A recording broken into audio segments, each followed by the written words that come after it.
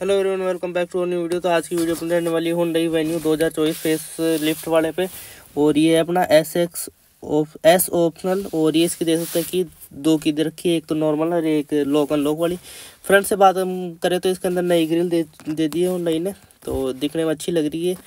और लाइट है dam set वही है थोड़ा, इसका डिज़ाइन चेंज कर दिया है। नीचे वाली लाइट का वही है डिज़ाइन, बस अंदर से थोड़े इसका प्रोजेक्टर वगैरह का डिज़ाइन चेंज कर दिया है। और एस ऑप्शनल में ही प्रोजेक्टर देने लग गए हैं, जो कि अच्छी बात है गाड़ी के अंदर। वो फॉग लैंप वगैरह नहीं मिलते इस गाड़ी के अंदर शुरू से ही, क्योंकि लाइट की प्लेसमेंट इस जगह ग्राउंड क्लियरेंस की अगर हम बात करें तो इसके अंदर अपन को एक सौ पचानवे एम का ग्राउंड क्लियरेंस मिलता है इस गाड़ी के अंदर, जो कि अच्छा है इस सेगमेंट के हिसाब से। और ये देख सकते हैं, दो वाइपर दे रखे हैं फ्रंट में और ऊपर देख सकते हैं, प्लेन रूफ सन रूफ आपको एस एक्स वेरियंट से चालू होगी ये साइड लुक देख सकते हैं आप गाड़ी का, पच्चीस सौ एम का इसका जो पूरा व्हील बेस है गाड़ी का और साइड लुक में अपन इसमें थोड़ा बहुत चेंज करें, बिल्कुल ज़्यादा चेंज नहीं करें।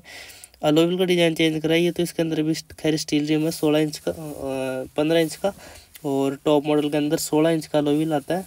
और विर्थ वगैरह की बात करें, सही सी विर्थ है। और ये साइड प्लास्टिक की अपन को ये इसकी प्लेट या पट्टी बोल सकते हैं आप, ये मिले, मिलेगी साइड में। और ये साइड लुक देख सकते हैं, साइड लुक में इतना खैर चेंज नहीं करा है। अपन इसके अंदर और अपन बात करें इसके अंदर पीछे की साइड से, पीछे इसमें लाइट वगैरह चेंज करिए अपन को एक बार साइड लुक आपको बता देता हूँ इसके अंदर और क्या क्या है इसके रूफ रील्स वगैरह देख सकते हैं आप इसकी सिल्वर कलर की रूफ रील्स दे रखी है कार के अंदर। अगर आपको ये चीज़ें प्लास्टिक की है तो इसको आपको क्या लॉन्ग टर्म में पॉलिश वगैरह करनी पड़ेगी? तो ब्रेजा वगैरह में सारी गाड़ियों में ऐसी आ रही है, कह रही है तो। रूफ की अगर बात करें तो सिल्वर कलर के दे रखे हैं इसके अंदर ये और रूफ रेल्स और शार्प एंटीना रियर से अपन बात करें तो ये कनेक्टेड टेलम्स की शुरुआत इसी गाड़ी ने करी और सारी गाड़ियों में भी की जा रही है, सारी गाड़ियों में आ रहा है ये। और अच्छी भी लग रही है कनेक्टेड लाइट्स रात को अच्छी लगती है ब्लैक कलर में तो और भी ज़्यादा अच्छी लगती है ये वाली लाइट्स इसके अंदर। और ये दे रखा है इसके अंदर होंडई का वेन्यू लोगो और कैमरा दे रखा है यहीं पे। रिवर्स पार्किंग कैमरा ये रहा। और सेंसर दे रखे हैं इसके अंदर डिफोकर दे रखा है, जो कि अच्छी बात है। और रियल लाइट और ये अपना देख सकते हैं sharp in antenna value for money variant है ये, देखा जाए तो इसके अंदर। और ये सेंसर दे रखे हैं इसके अंदर, ये रिफ्लेक्टर्स हैं इस कार के। और ये नीचे टोइंग हुक दे रखा है कार का। और नीचे सस्पेंस सेटअप दे सकते हैं आप, आगे ही साइड दिख रहा है जो और सारे आंसर अगर हम बात करें तो ये वैल्यू फॉर मनी वेरिएंट है, वैसे देखा जाए तो इसका वैसे बोट स्पेस और देख लो, इसका बोट स्पेस तीन सौ पचास लीटर का बोट स्पेस है, जो कि इनफ टाइप का सही है। सही है बोट स्पेस इस सेगमेंट के हिसाब से। ये पार्सल ट्रे की क्वालिटी अच्छी क्वालिटी की पार्सल ट्रे दे रखी सिक्सटी फोर्टी स्प्लिट मिलेगा आपको सीटों के अंदर। और यहाँ पे लाइट वगैरह नहीं है इसके अंदर। टॉप मॉडल में आती होगी, ये स्पेयर व्हील दे रखा है इसके अंदर। स्पेयर व्हील का अगर साइज़ की बात करें तो पंद्रह इंच का स्पेयर व्हील दे रखा है गाड़ी के अंदर। वैल्यू फॉर मनी इसका टॉप मॉडल वगैरह वैसे लेने से आपको मतलब नहीं जो छोटी गाड़ी चीज़ जब आपके लिए सही है, यहाँ पे लाइट दे रखी है। और ये साइड में देख सकते हैं आप, इसके अंदर पैंतालीस लीटर का फ्यूल कैपेसिटी है पेट्रोल में। और डीजल की अगर बात करें तो उसके अंदर आपको आई डब्ल्यू डलवाना पड़ेगा, इस कार के अंदर पंद्रह सी का इंजन है इसके अंदर डीजल वाला। अब अपन चलते हैं गाड़ी के। रियर साइड में आपको एक बार दिखा देता हूँ कैसा क्या है। इसमें थोड़ा सा गेट का डिज़ाइन चेंज करा है इसके अंदर। बिल्कुल हल्का सा। और ये देख सकते हैं स्पीकर दे रखे हैं इसमें चार। और ये रियर सीटिंग देख सकते हैं। इसके अंदर ये डैशबोर्ड व्यू डैशबोर्ड का प्लेन है तो अपन हम आगे बैठते हैं तो अच्छी सीटिंग कमांडिंग पोजीशन मिलती है। ये रियर वेंट्स दे रखे हैं। यहाँ पे चार्जिंग के दे रखे हैं। थोड़ा सा हम्प मिलेगा आपको गाड़ी के अंदर।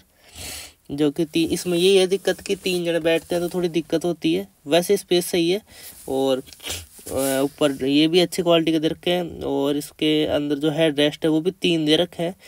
अच्छी बात है क्रेटा में भी नहीं आती, तीन वैसे हेड रेस्ट और ये तीनों के ये दे रखे हैं, इसमें आर्म रेस्ट की थोड़ी कॉस्ट कटिंग कर रखी है इसके अंदर। ये चाइल्ड सीट दे रखी है इस कार के अंदर। सीट की अगर वैसे हम क्वालिटी की बात करें तो अच्छी खासी है सीट वगैरह। लेकिन ये बीच में हम की वजह से थोड़ी दिक्कत हो जाती है और सन रूफ तो बता ही दिया, आपको एस एक्स वेरियंट से मिलेगा इसके अंदर। अब अपन चलते हैं आगे वाली साइड बिल्ड क्वालिटी की बात करें तो गाड़ी की अच्छी है बिल्ड क्वालिटी और इससे ही अपन को खोल के जाना पड़ेगा। इसमें अंदर वो कीलेस वगैरह तो इसमें नहीं है। एस ऑफ़ एस ऑप्शनल वाले वेरिएंट में। ये देख सकते हैं इसका साइड व्यू और ये इंटीरियर डुअल टोन इंटीरियर दे रखा है कार के अंदर। और ये पावर विंडो कंट्रोल्स और यहाँ पे ट्यूटर की प्लेसमेंट भी कर रखी है डोर में। ये इसकी दे सकते हैं सीट इसके अंदर ये कंट्रोल दे रखे हैं सीट के। यहाँ पे फ्यूल लीड ओपनर यहाँ पे आपको डेड पल्लर भी दे रखा है, अच्छी बात है जो कि। ये आप बोनेट ओपन कर सकते हैं इससे। यहाँ पे आपको ट्रैक्शन कंट्रोल का और लाइट्स का मिल जाएगा स्विच। ये इसकी की दे सकते हैं, इसको कील को लगा देते हैं अपन, इसके अंदर इग्निशन ऑन करते हैं, गाड़ी का अंदर बैठते हैं ये देख सकते हैं अंदर की साइड से व्यू, इसका स्टेयरिंग व्यू और डैशबोर्ड व्यू। डैशबोर्ड व्यू बिल्कुल अच्छा है, आपको पूरा व्यू दिखेगा आगे का। और ये इसका स्पीडोमीटर, डिजिटल स्पीडोमीटर दे दिया, जो कि अच्छी बात है अच्छा लुकिंग आता है। वरना से थोड़ा इंस्पायर टाइप का साइज़ का लो। और स्टेयरिंग थोड़ा अलग है, वरना से और यहाँ पे कंट्रोल्स दे रखे हैं इसके, ये सिल्वर फिनिश दे रखी है और इसको टिल्ट एडजस्टमेंट दे रखा है इसके अंदर। इसको तो अपन कर देते हैं एक बार। जस्ट यहाँ लाइट्स के कंट्रोल्स दे रखे हैं इसके अंदर। ये पोस्टर के कंट्रोल्स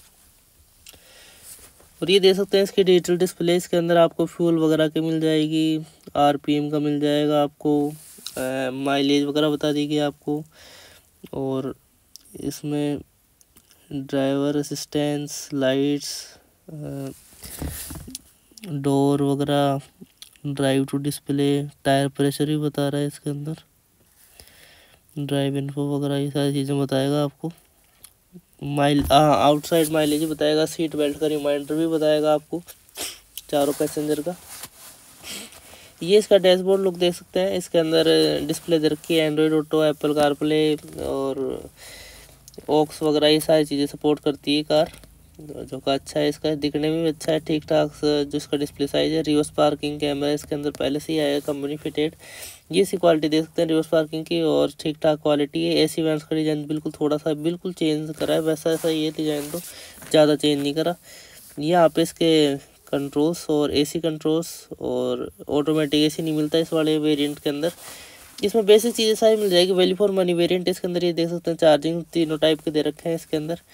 ट्वेल्व वोट भी दे रखा है और ये फ़ोन वगैरह रखना हो आप इसके अंदर, यहाँ पे।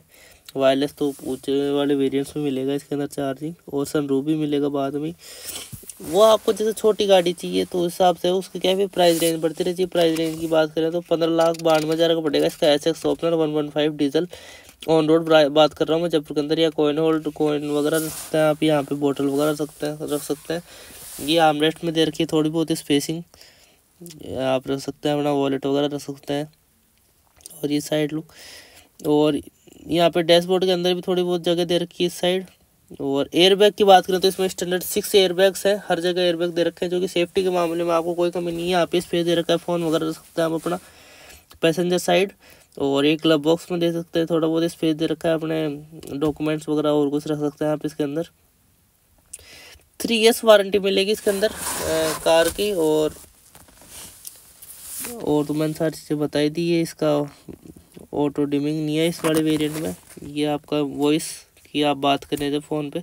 यहाँ पे मैगजीन दे रखा है और इस साइड वैनिटी मिरर दे रखा है। यहाँ पे वो नहीं दे रखा लेकिन लाइट ये डोर हैंडल दे रखे हैं, ये पीछे की साइड का व्यू देख सकते हैं आप गाड़ी का, ये स्टेयरिंग व्हील स्टेयरिंग व्हील वैसा सा, ये पहले वाला डिज़ाइन सा ही लग रहा है।